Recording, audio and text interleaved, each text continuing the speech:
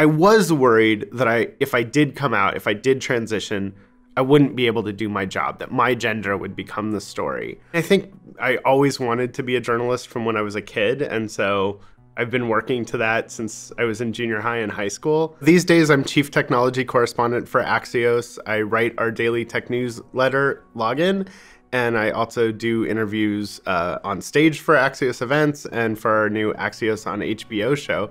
I knew that I was trans, or I figured out that I was trans early in college. I was a sophomore in college. Um, but it took me a long time to figure out what I was going to do with that, how I was going to integrate that into um, my life, my career. Um, so I've been out, at least with my friends, since since I was a, uh, a sophomore in college.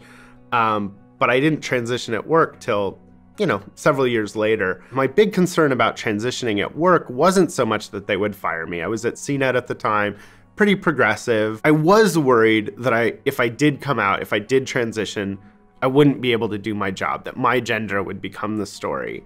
And I didn't have a lot of examples to look to of journalists who'd publicly transitioned in mainstream journalism. So I kind of came up with a roadmap. I'm going to come out first to the newsroom, then a couple weeks later, I'm going to come out to my sources and say, I'm transitioning on this date.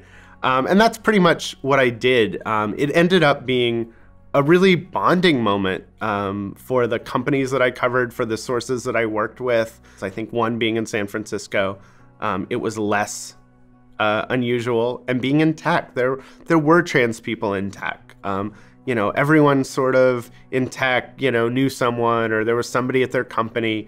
Um, so that helped. I think, uh, you know, when I first started, I felt personally supported, but, you know, trans inclusive health benefits, a trans inclusive employment uh, policies weren't the norm. Now they are, or at least they're becoming the norm. And so, you know, I've pushed at companies that I've worked for to make sure we are covering as much as we can um, trans-related healthcare, that we have non-discrimination policies to the point, you know, at Axios where we're actively recruiting diverse employees, including around gender identity and sexual orientation. So I think there's now a lot more transgender journalists, which is great.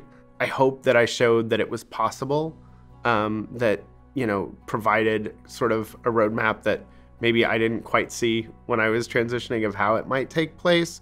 I think also what we're starting to see, which is awesome and amazing, is journalists who've transitioned before they start their career, um, which is awesome. So we have young trans journalists who transitioned in college, in high school, in junior high, in elementary school, coming up who um, are having a really different experience, and that's awesome also.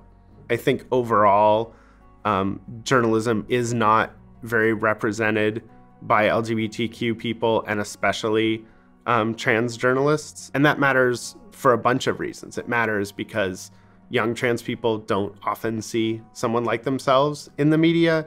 It matters because I think I've seen firsthand that when there's a trans person in the newsroom, or even better, more than one, issues get covered that weren't being covered. I think a lot of people still feel like being uh, lesbian or bi or trans or non binary is a hurdle between them and their career goals. I think to be patient with themselves is what I tell anyone uh, who's coming out as trans or anything else that it's it's hard internally. You can do it. um, it matters. I think it really does matter. I really think of that next generation of trans youth that's consuming media, that's watching TV, I think it's really important that they see journalists and technologists and athletes uh, that look like them. I think that matters a tremendous amount.